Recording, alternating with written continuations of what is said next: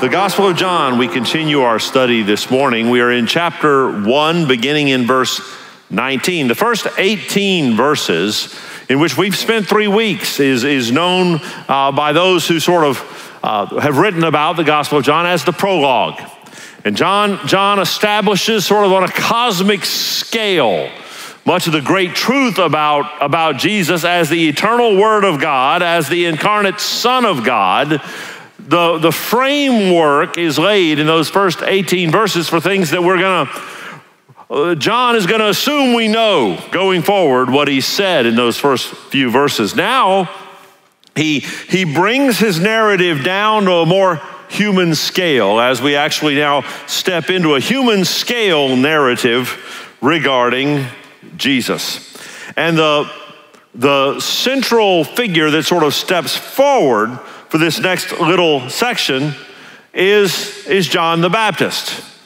Now, Kerry taught us, and he's right, that the Gospel of John never calls him John the Baptist, but portrays him more consistently as John the Witness. So if I use those two terms interchangeably, you have to forgive me, especially you, Kerry.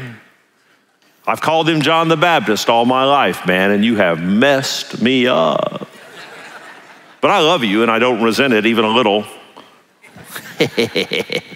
All right, I'm so glad to be a part of this team. God has been so good to me. All right.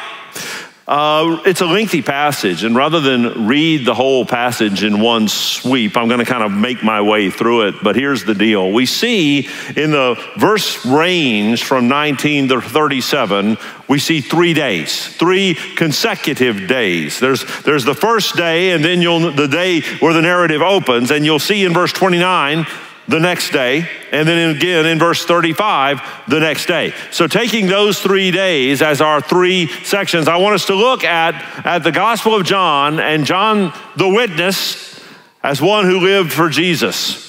John the Baptist had devoted his life to preparing the people. I say this in an introductory paragraph that's, that's in your notes to receive the gospel that was coming in the person and work of Jesus Christ. Here, over the course of these three days, we see a great example of a life lived for Jesus. Roman numeral one, day one, John's fame for Jesus. As we join the story in the Gospel of John, chapter 1, John the, John the Baptist has already been active for some time in ministry. He's drawing large crowds. Some have already begun to, to entertain the notion that any time now he's going to step forward and claim to be the Messiah. There were a lot of people with far less fame who had. There were others who were postulating all kinds of things about him. We'll touch upon some of those things that we'll see in the text. But he was quite a famous guy. John had come to be, in the minds of some, a bit of a big deal. He had already had one, at least, very pointed interaction with the Jerusalem leadership. You can read about it in Matthew chapter 3. In fact, by the time we join the narrative here in John 1, he has baptized Jesus some weeks before this. All three of the other gospels tell the story of the baptism of Jesus. John is going to recall it briefly in a few verses, but that already happened in John's narrative because by John's narrative, the Gospel of John, um, Jesus has returned from the wilderness. And we know from all three of the other Gospels, he spent 40 days in the wilderness after he was baptized. It's where he encountered those three very in your face temptations from Jesus, I mean, from Satan.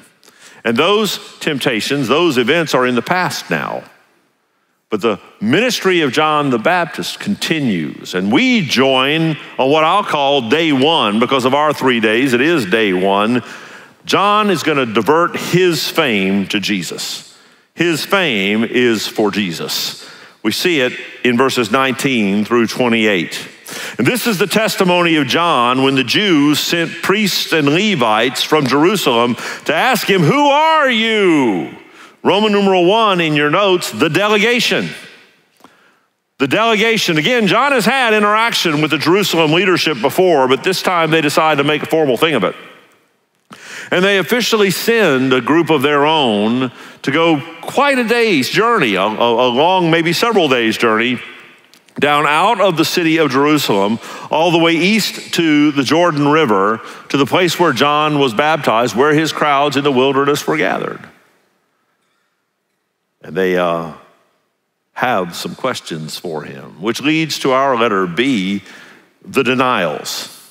The denials. Now it's interesting because this is verses uh, 20 and 21.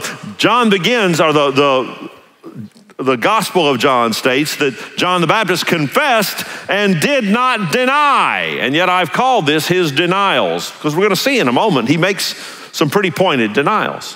What does it mean he did not deny? He confessed and did not deny. Well, it means he did not deny them the opportunity to hear his confession. He did not tuck his tail and run from the questions they were asking. He was there with a, with a confession who he was and why he was there. That confession leads with a series of denials because false messiahs were fairly common in Israel because it was not unusual at all for somebody, especially somebody who could draw a crowd with a religiously themed message to end up claiming to be himself the Messiah. John the Baptist begins with, I am not the Christ. I'm not. I'm not going to tell you that I'm the Savior. I'm not the Savior. I'm not going to tell you that I'm the one who's going to deal with your sin debt. I'm not. I'm not going to tell you that I'm the one that even politically is going to deal with the Roman Empire. I'm not. I'm not the Christ. I am not the Messiah. So they ask him, What then? Are you Elijah? That's based in a prophecy. It's in Malachi chapter 4, verse 5 that, that before the day of the Lord, which we know to be an end of the age event, that a reincarnated Elijah will come and bear witness to the gospel. Well, Jesus is going to say that John the Baptist is one who comes in the spirit of Elijah. Luke 117. Uh, his parents were told he would be the spirit in the, in the spirit of Elijah. But that's not what they're asking. They're asking, Are you Elijah returned to earth? And he said, No, I'm not. Are you the prophet? Probably a reference to Deuteronomy 18, verses 15 through 18, where, where Moses said, One day expect a prophet that's a bigger deal than I am. To tell a bunch of Jews to expect somebody who's a bigger deal than Moses is a big deal. Of course, that verse in Deuteronomy, those verses in Deuteronomy are actually referring to Jesus again. So John says, No, I'm not him either. Before John the Baptist could get on with his message to them, he had to carve off some things that he's not. You and I increasingly are going to feel the burden to do that as well. As our culture goes further and further in revealing just how anti God it is, Notice I didn't say as our culture becomes more and more anti God, because there's never been a culture on the face of the earth since the Garden of Eden that is a culture that is pro God. That has never happened.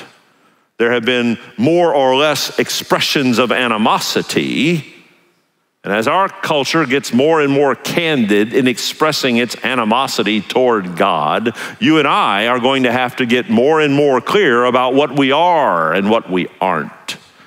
Oh, I know who Christians are. You're the ones who are so bigoted.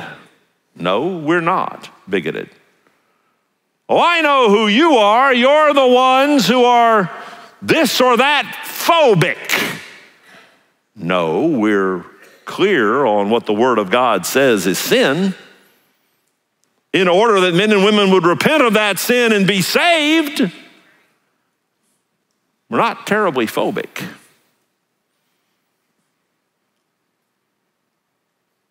It's going to become important for us to deal with who we aren't so that we can be clear about whose we are which leads us to Roman numeral C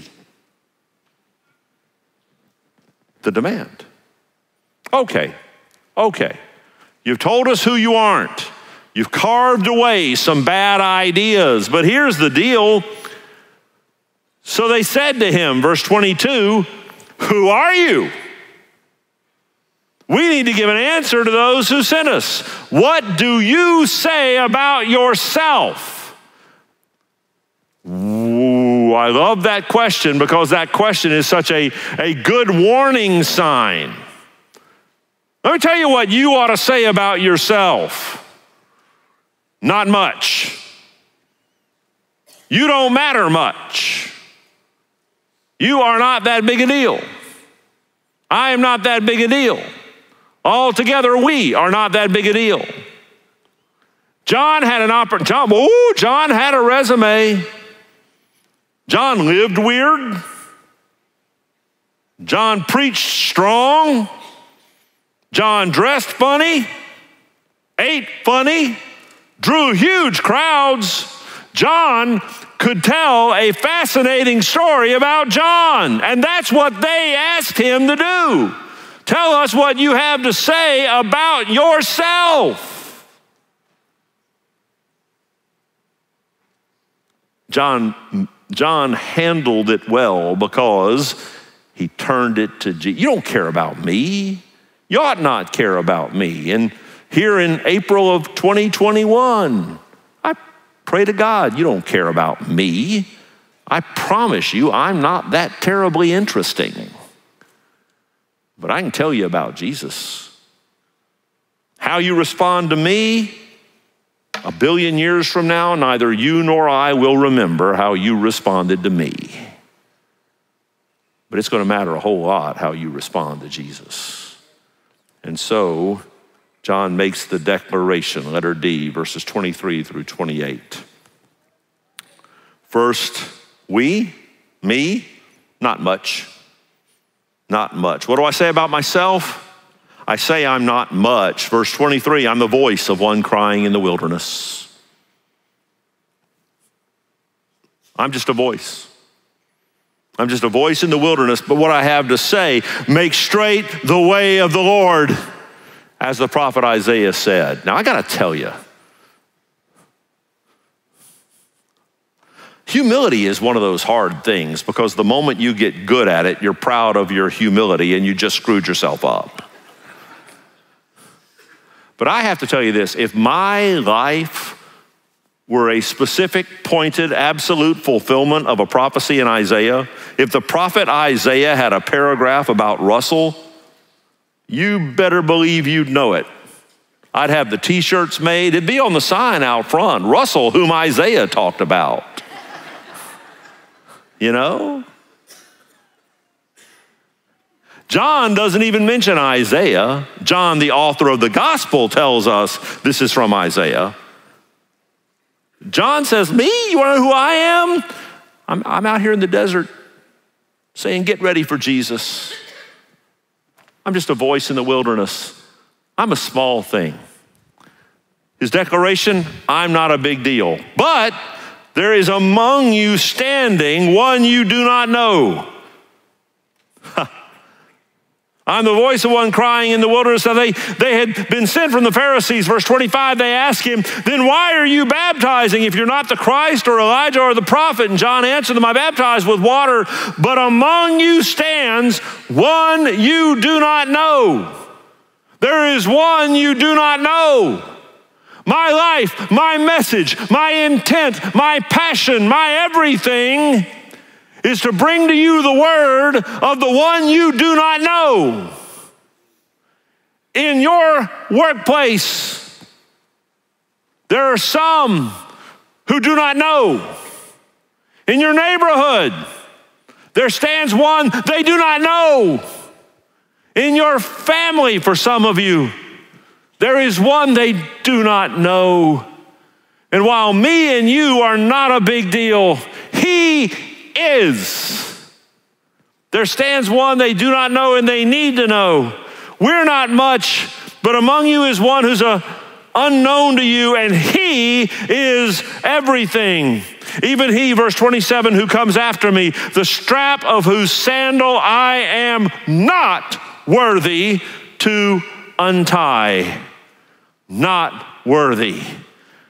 I, uh, I worked on the thing of worthy and not worthy last week, but let me, let, me, let me just share again. If you're here this morning and you think you have salvation because you were worthy of it, you don't understand your own salvation if indeed you have it.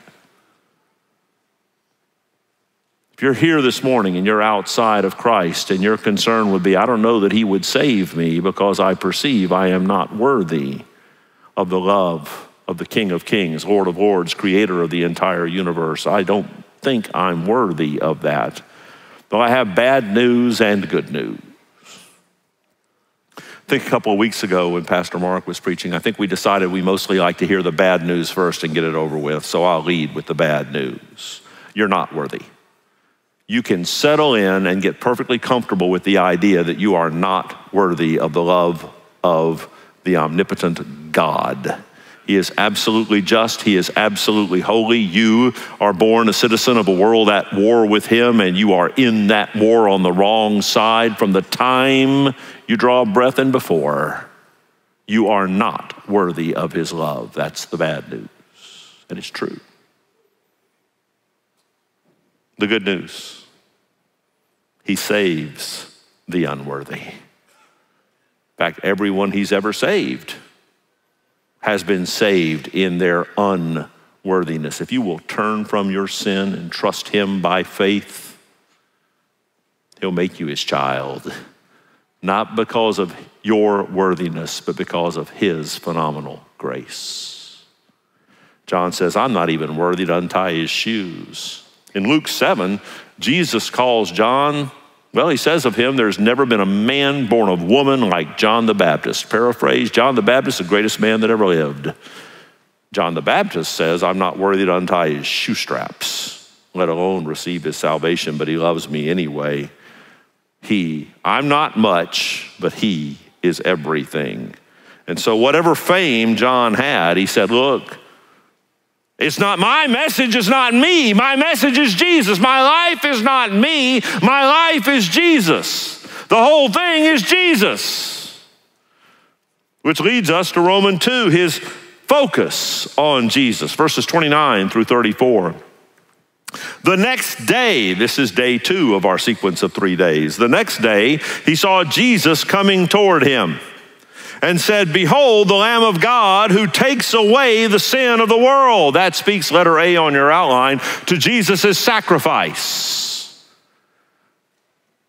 Oceans of blood had been spilt down the centuries in Jerusalem by, by temporary stopgap lambs, temporary sacrifices that were, that were the teaching tool toward the one day ultimate sacrifice that would be the death of Jesus Christ on the cross. As far back as Genesis 22, when Abraham took Isaac, his son, to the top of Mount Moriah, and there uh, was prepared to make a sacrifice and the angel of the Lord stayed his hand and said, You don't need to do that. And, and in the course of that conversation, his son asked him, Where's the sacrificial lamb? And Abraham said a statement more radically prophetic than perhaps he even knew God will provide a lamb. And here, John the witness says, There's the lamb that God has provided. Other lambs in the temple could stay the hand of God's wrath, but this, Jesus, is the lamb that takes away the sin of the world. Now, that does not mean that he takes away all sin penalty from all people forever, because God is just and there are most of humanity dies unforgiven. There are those who've tried to make this verse lean into the idea of universalism. You have to look at how John uses world. He uses it 61 times in just his gospel. Uses it frequently outside his gospel in 1st, 2nd, 3rd John and Revelation. John's use of world doesn't speak to universal depth. It speaks to scope. John 3:16 is a great example. God so loved the world that he gave his son, whom we know takes away the sin of the world. Okay? God so loved the world that he gave his son from this verse who takes away the sin of the world. He gave his only son that whoever believes in him would not perish, but have everlasting life. The use of world here means all people or people of all sorts all over the world, all kinds of people. For you and me, it means people like us and people not like us. People from all kinds of ethnic backgrounds, all kinds of economic backgrounds, all kinds of religious backgrounds, all kinds of life stories. If they will turn from their sin and follow Jesus Christ by faith, there is no restriction anywhere on the world in the world on who can do that if they will repent, if they will come to faith in Christ. The Lamb of God who takes away the sin of the world speaks to his sacrifice. And by the way, if you're here this morning, and you're outside of Christ, the nightmare scenario is you would face God with your sins not taken away. Because if you have not believed, you've not trusted Jesus by faith, your sin debt is still your own.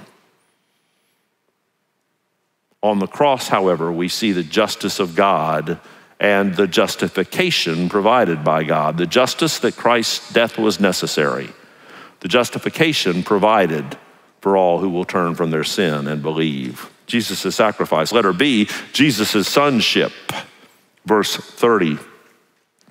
Um, this is he of whom I said, After me comes a man who ranks before me because he was before me. John the Witness here says, Look, Jesus ranks ahead of me. Jesus was before I was. Now, we already know from the preamble from the prologue that he has been from the beginning. Here, what John is saying to his followers is well, now, wait a minute.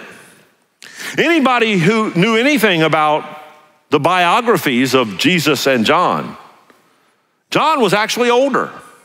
Remember, Mary, Jesus' mom, and Elizabeth, John's mom, were, were probably cousins. They were related. And Mary got pregnant six months after Elizabeth did. So, assuming the gestations were normal and similar, John the Baptist is six months older than Jesus. And yet, here he says he's a bigger deal than me because he was before I was. John, explain what you mean. Well, I, I was born first, but I came into existence at the time I was conceived in my mom's womb. He came into existence. Oh, wait, no, he didn't. He never did. You cannot come into existence if you have already existed from eternity past. He was before I am. He's affirming the deity and sonship of Christ by that statement, his salvation, his son, his sacrifice, his sonship, and let her see his salvation. Verses 31 through 34 are John the Baptist's personal salvation testimony. And I'm going to quickly walk you through it, but I want you to see it's a pretty good outline for a personal testimony, one you ought to take a look at. By the way, you should be able to tell your salvation story if you know Jesus anywhere, anytime with no warning. You should be able to give a reason for the hope that is within you. It should be salted and peppered with scripture. But there, there, I, I, I, I can't tell. If I ask you to tell the story of your car ownership, most of you wouldn't need any prep. You could start with the first beater you ever bought in high school and go right up to today and not miss a beat. You can tell your car. If I ask you to tell me the story of the zip codes you've lived in, you'd say, "Oh, I got that. I lived here, and then I grew up. I grew up here, and then I moved there, and then I went there for college, then I went there, and then I went there." If I ask you to tell the story of how Jesus Christ saved you, some of y'all would go ostrich head in the sand, hoping I don't ask again. The most important part of your biography should come out of you pretty easily. Three major sections. Number one, there was a time when I didn't know Jesus. Listen to John's witness, beginning in verse 31. I myself did not know him. He says it again in verse 33 I myself did not know him. There was a time when I didn't know Jesus. I hear a lot of testimonies, and one of the things that frightens me most, or at least causes me to really want to tap the brakes, when someone starts their story and they say, Well, you know, I, I, have always been a Christian. no, no, you haven't. No, you haven't. No, you have not. You may have had a mom and daddy who loved Jesus. If you did, I'm glad. I, I did and do. You may have been brought up in, in settings where the Word of God was kept before you as a kiddo. I was too, and I'm glad. But there's not, since, since Adam and Eve started having offspring, there's nobody who's always been a Christian. And you should be able to tell the story of a time in your life when you were far from God because there was such a time. Now, you may have been saved older, you may have been saved younger. Point one in your testimony is I was a sinner far from God, outside of his love. Point two, Jesus in his grace revealed himself to me. Now, the circumstances will be different for all of us. Nobody's going to have circumstances like John the Baptist had. I didn't know him, but for this purpose, verse 31, I came baptizing with water that he might be revealed to Israel. And John bore witness of an event from weeks before. I saw the Spirit descend from heaven like a dove, and it remained on him. I myself did not know him, but he who sent me to baptize with water said to me, He on whom you see the Spirit descend and remain, this is he who baptizes with the Holy Spirit. That is, God in his grace revealed to me who Jesus is. And I came to faith in Christ, turning from my sin and trusting Him by faith. And you should tell the story often of how that happened to you. I didn't know Jesus, but there came a day when by His grace He revealed Himself to me.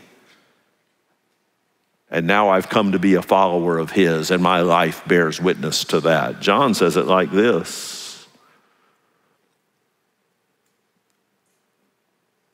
And I have seen, verse 34, and I have seen and borne witness that this is the Son of God, which leads me to Romans 3. Three days living for Jesus, his fame, focus it all on Jesus. His focus of his life, it's all about Jesus. And finally, day three, his followers pointed to Jesus.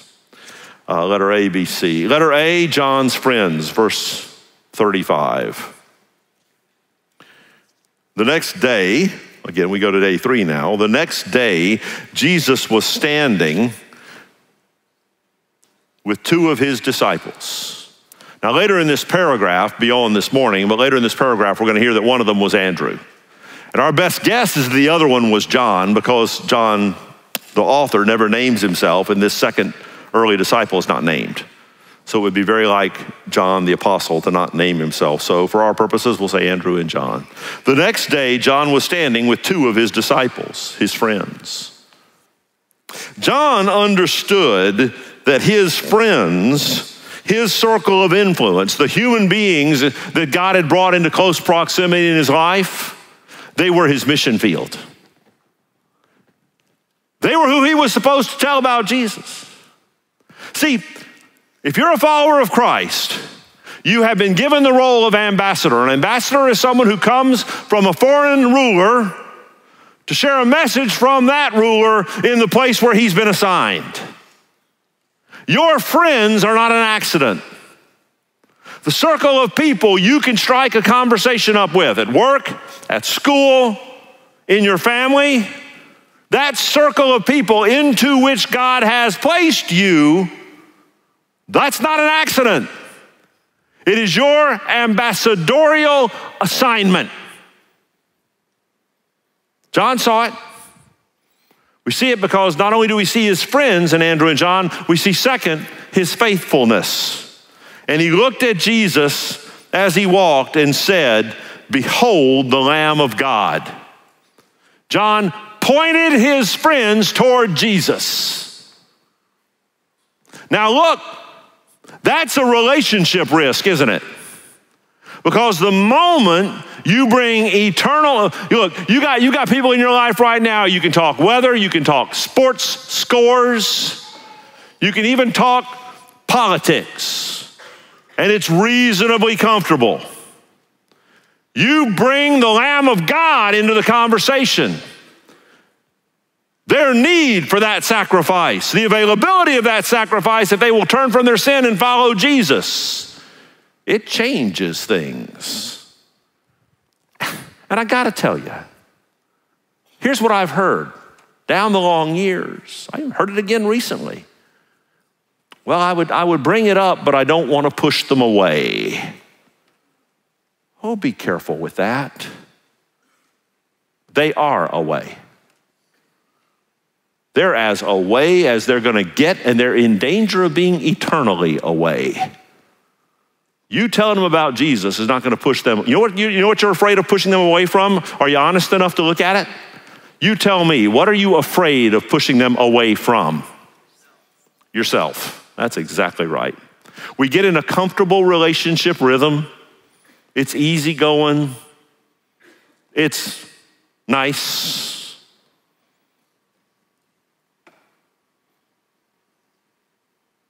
And they die and go to hell unwarned. You can't save them. I get that. You and I are not in the salvation business, but we are in the warning business. We're in the message delivery business. And it is a tragedy that friends of mine are going to die and go to hell. But it's on me if friends of mine die and go to hell unwarned. That's on me. Likewise, it's on you. John pointed his friends to Jesus. We have his friends, we have his faithfulness, and then praise God, we get a glimpse at his fruitfulness. Verse 37 those two disciples heard him say this, and they followed Jesus. Is everybody you share the gospel with going to come to faith in Christ? If you share it enough, probably not. Probably not. Will some come to Christ if you share your faith enough? Probably so. Probably so. Why don't you try it and find out? John pointed his friends to Jesus, and they became followers of Christ. What a beautiful, simple little three verse picture. And across this whole passage, what a marvelous three day picture of a life lived for Jesus.